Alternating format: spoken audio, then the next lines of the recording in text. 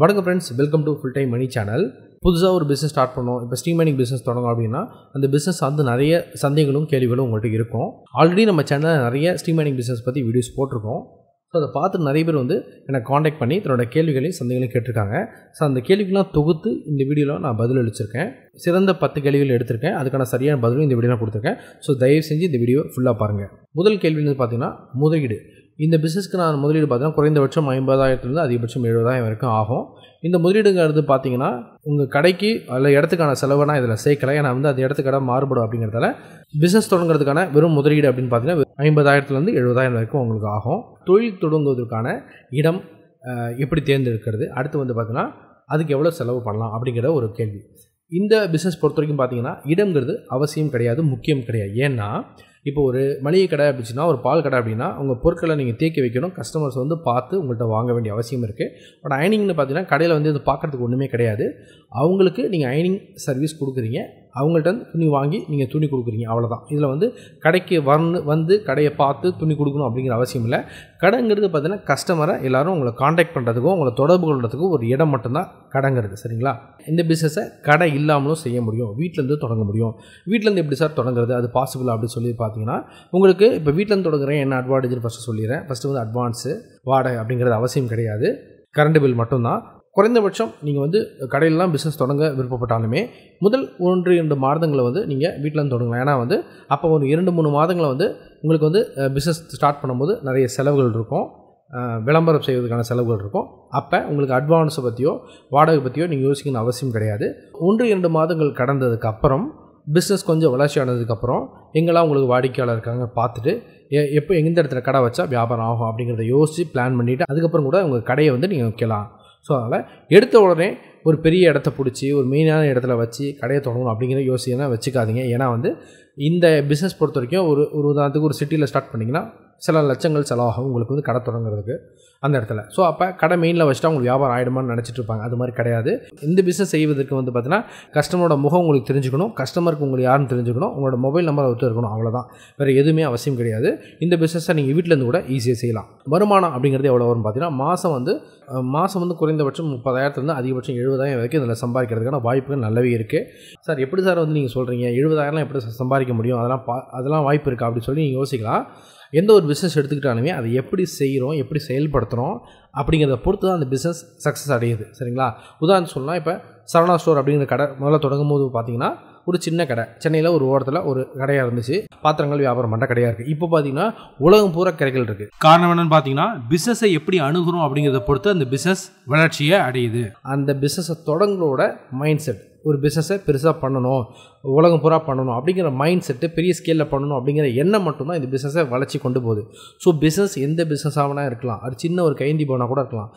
நீங்கள் தொடங்கும் போது அந்த பிஸ்னஸ் சின்னதாக இருக்கலாம். ஆனால் அந்த வளர்ச்சியை நோக்கி பிளான் பண்ணிங்கன்னா கண்டிப்பாக அந்த பிஸ்னஸ் வந்து வளர்ச்சி அடையும். அதுக்கான வாய்ப்புகள் என்னங்கன்னு அடுத்து நான் சொல்கிறேன் அடுத்து வந்து பார்த்தீங்கன்னா தொழில் அனுபவம். சார் எனக்கு வந்து எல்லாம் ஓகே சார். முதலீடுலாம் செய்ய முடியும். பட் எனக்கு அனுபவம் இல்லையே. என்ன சார் பண்ணுறதுன்னு சொல்லி யோசிக்கலாம். இந்த பிஸ்னஸை எப்படி செய்யணும்? என்னென்ன மிஸ்டேக் செய்யக்கூடாது? எப்படி செஞ்சால் அந்த பிஸ்னஸில் லாபத்தை அதிகப்படுத்த முடியும்? இப்படி எல்லா விஷயங்களும் நம்ம பயிற்சியாக கொடுக்குறோம். உங்களுக்கு ஆலோசனையாக கொடுக்குறோம். அடுத்த விஷயம் என்ன பார்த்தீங்கன்னா சார் வேலையாட்கள் வேணும்ல சார். எனக்கு அயன் பண்ண முடியாது. நான் வந்து அயன் பண்ணுறதுக்கு எனக்கு தெரியாது. அல்லது வந்து எனக்கு ஒரு வேலை வே வேறு ஒரு வேலை இருக்குது அல்லது என்னால் செய்ய முடியாத சூழ்நிலை நான் என்ன சார் பண்ணுறதுன்னா கவலைப்பட வேணாம். உங்கள் பிஸ்னஸை ரன் பண்ணுறதுக்கு அயனிங் செய்கிறதுக்கு வந்து பார்த்தோன்னா ஆட்கள் நம்ம கொடுப்போம். ஸோ வேலையாட்கள் தமிழ்நாட்டில் மட்டும் இல்லை சவுத் இந்தியாவில் எங்கே ஆட்கள் கேட்டாலுமே நம்மளால் அரேஞ்ச் பண்ணி கொடுக்க முடியும். எங்களோட வாடிக்கையாளருக்கு நாங்கள் அதுதான் செய்கிறோம் அவங்க வந்து நம்மள்ட்ட ஸ்டாஃப்ஸ் வேணும்னு கேட்டாங்கன்னா கண்டிப்பாக உங்களுக்கு அவங்க ஏரியாவில் வந்து ஒர்க் பண்ணுறதுக்கு ஸ்டாஃப்ஸ் அரேஞ்ச் பண்ணி கொடுக்குறோம். இந்த கேரண்டியை நம்ம கொடுக்குறோம்.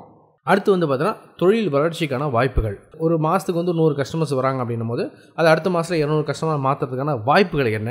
எப்படி வந்து மார்க்கெட் பண்ணுறது இந்த மாதிரி விஷயங்களை உங்களுக்கு நம்ம வ- என்ன வழிகள் இருக்குது அப்படிங்கிறத உங்களுக்கு சொல்லுவோம். உதாரணத்துக்கு ஒரு கடை ஒரு இடத்துல தொடங்குறீங்கன்னா அந்த இடத்துல என்னென்ன அட்வான்டேஜஸ் இருக்குது எப்படி வந்து நீர்வழியில் என்னென்ன வாய்ப்புகள் உங்கள் தொழில் வளர்ச்சிக்கு என்னென்ன வாய்ப்புகள் இருக்குது இந்த மாதிரி விஷயங்களை நம்ம உங்களுக்கு கைட் பண்ணுறோம் வாடிக்கையாளர் எப்படி சார் கொண்டு வர்றது? கடைக்கு. நான் கடையெல்லாம் போட்டேன் சார். ஆள்லாம் போட்டேன். அன்றைக்கெலாம் போட்டேன். பட் இருந்தாலும் எனக்கு வாடிக்கையாளர் கடைக்கு வர மாட்டாங்கன்னா எப்பயுமே விளம்பரம் சரியாக செஞ்சால் மட்டும்தான் பிஸ்னஸில் நமக்கு வாடிக்கையில் கிடைப்பாங்க. அதுதான் உண்மை. ஒரு உதாரணம் சொல்கிறேன் ஹம்மா அப்படிங்கிற சோப் பார்த்தீங்கன்னா எல்லாருக்குமே தெரியும். இந்தியாவில் அந்த பேரை அந்த பிராண்ட் நேமை தெரியாதவங்க யாருமே இல்லை. பட் இருந்தாலும் நிறுவனம் இப்போ கூட விளம்பரம் செஞ்சுட்ருக்காங்க காரணம் என்னென்னா விளம்பரம் செய்தால் மட்டும்தான் உங்களோட வாடிக்கையாளர் நீங்கள் தக்க வச்சுக்க முடியும். ஏன்னா தொழில் போட்டி அதிகமாக இருக்கும்போது வாடிக்கையாளர் ஈர்ப்பதற்கு நீங்கள் விளம்பரங்கள் செய்தாகணும். அவ்வளோ பெரிய நிறுவனத்துக்கே விளம்பரங்கிறது அவசியம்னா உங்கள் பிஸ்னஸ்க்கும் விளம்பரங்கிறது கண்டிப்பாக அவசியம். பட் எப்படி விளம்பரம் செய்யலாம்? என்ன மாதிரி விளம்பரம் செய்யலாம்? எப்படி விளம்பரம் செஞ்சால் கஸ்டமர்ஸை ஈர்க்க முடியும்? என்னென்ன ஆஃபர் போட்டு கஸ்டமர் பிடிக்கலாம்? அப்படி நிறைய விஷயங்கள் இருக்குது அது எல்லாத்தையுமே கண்டிப்பாக கைட் பண்ணுறேன் சரி அடுத்து இந்த பிஸ்னஸில் வந்து பார்த்தீங்கன்னா லாபத்தை இன்க்ரீஸ் பண்ணணும் சார் ஆல்ரெடி அயனிங் பண்ண மாதிரி நான் பண்ணிகிட்டு இருக்கேன். பட் இருந்தாலும் எனக்கு நிறைய லாபம் கிடைக்கணும். என்னென்ன வழிகள் இருக்குன்னு பார்த்தீங்கன்னா உதாரணத்து சொல்லணும்னு பார்த்தீங்கன்னா value added services premium services monthly packages இப்படி நிறைய விஷயங்கள் இருக்குது. இப்போ ஒன்று சொல்கிறோம் உதாரணத்துக்கு. மந்த்லி பேக்கேஜ் அப்படின்னு பார்த்தீங்கன்னா ஒரு கஸ்டமர் வந்து மாதத்துக்கு வந்து இவ்வளோ ஒரு எழுபது எண்பது துணி கொடுப்பாருன்னு வச்சுக்கோங்களேன். அப்போ அந்த எழுபது எண்பது துணிக்கு வந்து சராசரியாக ஒரு எழுநூறுவா செலவு பண்ணுறாருன்னு உதாரணம் சொல்கிறேன் அப்போ வந்து சார் நீங்கள் வந்து மாதத்துக்கு பேமெண்ட் பண்ணுறத மொத்தமாக ஒரு சிங்கிள் பேமெண்ட்டாக கொடுத்தீங்க. மந்த்லி பேக்கேஜாக பே பண்ணுறீங்க அப்படின்னா உங்களுக்கு ஒரு thirty rupees or forty rupees discount பண்ணுவோம் சார்னு சொல்லலாம். ஸோ நீங்களே அவர் வீட்டை போய் வார வாரம் போய் துணி வாங்கிட்டு வந்துடலாம். மாதத்துக்கு இவ்வளோ துணி அப்படிங்கிறத நீங்கள் கரெக்டாக கால்குலேட் பண்ணி அவருக்கு கரெக்டாக போய் அவர்கிட்ட வீட்டில் வந்து துணி வாங்கிட்டு வந்து அயன் பண்ணி கொடுத்தா போதும். அவர் மந்த்லி ஒரு தடவை பேமெண்ட் பண்ணிடுவார். ஸோ நீங்கள் வந்து உங்களுக்கு வார வாரம் அவர்கிட்ட போய் துணி வாங்கி அயன் பண்ணி கொடுக்குறது தான் ஒர்க்காக இருக்கும். இது மூலிமா வந்து உங்கள் லாபத்தை நீங்கள் அதிகப்படுத்த முடியும். ஆனால் ரெகுலராக மந்த்லி பேக்கேஜாக பணம் வாங்கிக்கிறீங்க. இது மூலிமா கஸ்டமர்ஸ் வந்து இப்படி ஒரு பத்து கஸ்டமர் படிச்சிங்கன்னா அதே வந்து உங்களுக்கு நிறைய அமௌண்ட் கிடைக்கும். கஸ்டமர் உங்களை விட்டுட்டு வேறு கடைக்கு போக மாட்டாங்க. இது ஒரு மார்க்கெட்டிங் தந்திரம். இது மாதிரி நிறைய விஷயங்கள் இருக்குது உங்கள் பிஸ்னஸோட லாபத்தை அதிகப்படுத்துறதுக்கு இன்னும் நிறைய வழிகள் இருக்குது அடுத்து எந்த ஒரு பிஸ்னஸ்னாலுமே பார்த்தீங்கன்னாலே தொழில் போட்டிகள் இருக்கும். ஸோ தொழில் போட்டியாளர்களை எப்படி சமாளிக்கிறது? நீங்கள் வந்து பிஸ்னஸ் வந்து புதிய கோணத்தில் அணுகிறீங்கன்னா இந்த போட்டியாளர்கள் உங்களுக்கு பிரச்சனையே கிடையாது. நீங்கள் வந்து நல்ல வியாபாரப்படுத்தும் போது உங்கள் கஸ்டமர்ஸ்க்கு நல்ல சர்வீஸ் கொடுக்கும்போது ஆட்டோமேட்டிக்காக கஸ்டமர்ஸ் போட்டியாளர்கிட்ட உங்கள்கிட்ட வரப்போகிறாங்க இந்த பிஸ்னஸ் பொறுத்த வரைக்கும் பார்த்தீங்கன்னா இப்போதைக்கு போட்டியாளர்கள் வந்து பெருசாக கிடையாது. எல்லாரும் சின்ன சின்ன கடைகள் இருக்காங்க யாரும் பெரிய ஸ்கேலில் பண்ணவே இல்லை. இப்போ நீங்கள் வந்து இந்த பிஸ்னஸை ஒரு பெரிய மார்க்கெட் இருக்கிற இந்த பிஸ்னஸை வந்து நீங்கள் கையில் எடுத்து நீங்கள் உங்கள் ஏரியாவில் நீங்கள் ஸ்டார்ட் பண்ணிட்டீங்கன்னா எல்லா மார்க்கெட்டையும் உங்கள் கையில் நீங்கள் கொண்டு வந்துட முடியும். வருங்காலத்தில் இந்த தொழிலில் வந்து எப்படி வாய்ப்பு இருக்கும்? இந்த பிஸ்னஸ் பொறுத்த வரைக்கும் பார்த்தீங்கன்னா அழிவுங்கிறது கிடையாது. ஏன்னா இது அத்தியாவசியமான ஒரு சேவை. எப்படி வந்து மளிகை பொருட்களோ அதே மாதிரி பால் வியாபாரமோ இந்த மாதிரி விஷயங்கள்லாம் பார்த்திங்கன்னா அடிப்படையாக எல்லாருக்கும் தேவைப்படுறது. அதே மாதிரி தான் இப்போ சலூன் அயனிங் கடைகள் இதெல்லாம் வந்து அடிப்படையாக மக்களுக்கு தேவைப்படுற ஒரு சேவை. இதில் வந்து எப்பயுமே வருஷம் பூராவும் டிமாண்ட் இருந்துக்கிட்டே இருக்கும். ஆனால் நிறைய பேர் இந்த பிஸ்னஸை சரியாக வந்து அணுகாததால் தான் இந்த பிஸ்னஸ் அவங்களுக்கு சரியாக சரிப்பட்டு வர மாட்டேங்குது உதாரணம் சொல்லணும்னா ஒரு அஞ்சு வருஷத்துக்கு முன்னாடி சலூன் கடையெல்லாம் பார்த்தீங்கன்னா சிம்பிளாக இருந்துச்சு. சின்ன சின்ன கடைகள் இருந்து பண்ணிக்கிட்டு இருந்தாங்க. இப்போ பார்த்தீங்கன்னா அது பெரிய இண்டஸ்ட்ரியாக மாறிடுச்சு. பெரிய நிறுவனங்கள்லாம் அதில் கால் பதிச்சிட்டாங்க. காரணம் என்னென்னு பார்த்தீங்கன்னா இந்த துறையில் வந்து பார்த்தீங்கன்னா அதுவும் சலூன் இண்டஸ்ட்ரியும் பார்த்தீங்கன்னா பியூட்டி பார்லர் இண்டஸ்ட்ரியும் பார்த்தீங்கன்னா ரெகுலராக டிமாண்ட் இருக்குது வருஷம் ஃபுல்லாகவும் டிமாண்ட் இருக்குது அடிப்படையாக மக்களுக்கு தேவைப்படுற பொருட்களையும் சேவைகளையும் அளிக்கிற பிஸ்னஸ்களுக்கு எப்பயுமே வந்து அழிவு என்பதே கிடையாது அப்படிங்கிறத புரிஞ்சுங்க. உங்கள்கிட்ட இதே மாதிரி நிறைய கேள்விகள் இருந்திருக்கோம். அந்த கேள்விகள் இந்த இந்த வீடியோ மூலியம் பதில்கள் கிடச்சிருக்கலாம். உங்களுக்கு மேலும் சந்தேகங்கள் இருக்குச்சுன்னா கண்டிப்பாக நான் காண்டாக்ட் பண்ணுங்கள் என்னோட நம்பர் டிஸ்பிளேயில் இருக்குது காண்டாக்ட் பண்ணிங்கன்னா கண்டிப்பாக உங்களுக்கு எல்லாத்தையும் கைட் பண்ணுறேன் உங்களுக்கு இந்த வீடியோ பிடிச்சிருந்தா வீடியோ மறக்காமல் லைக் பண்ணுங்கள் ஷேர் பண்ணுங்கள் கருத்துக்களை கமெண்ட்டில் போஸ்ட் பண்ணுங்கள் அடுத்த ஒரு சூப்பராக இன்ட்ரெஸ்டிங்கான வீடியோவில் சந்திப்போம். நன்றி பாய்